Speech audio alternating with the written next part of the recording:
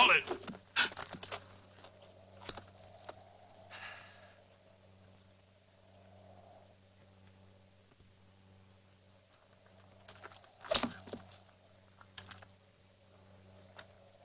What a stupid idiot I've been.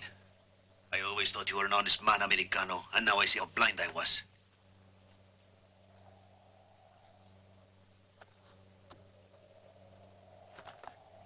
You will kill me to cover up the truth.